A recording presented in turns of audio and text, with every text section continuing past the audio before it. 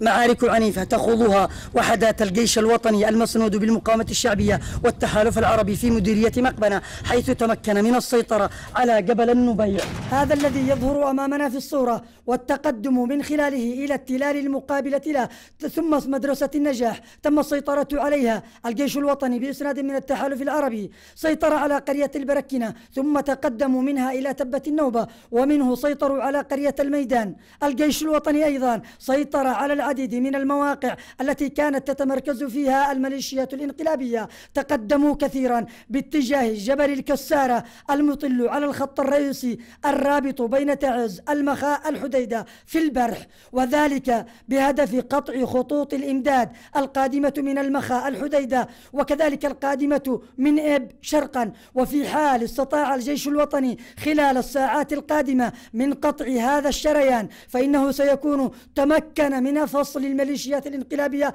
غرب تعز عن تلك التي شرقها. معنا هنا في مقبنة أحد قادة الجيش الوطني يحدثنا عن سير المعارك في هذه المديرية. خلال الثلاث الأيام الماضية آه، تم التقدم آه، أولا الثبات في جبل النبيع آه، بعد محاولات عديدة من الانقلابيين للسيطرة عليه ثم انتقلنا بعد ذلك إلى قرية العبدلة.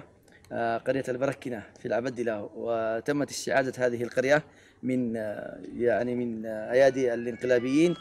وكذلك المدرسة مدرسة النجاح بالعبدلة الجيش الوطني المسنود بالمقاومة الشعبية والتحالف العربي يسعى إلى تمشيط كل هذه المناطق كما أنه يصر على أن يتقدم وينهي معركة الساحل الشريط الساحلي لمحافظة تعز وكذلك التقدم باتجاه محافظة الحديدة. محمد الحذيفية الإخبارية من منطقة حميار غرب مدينة تعز.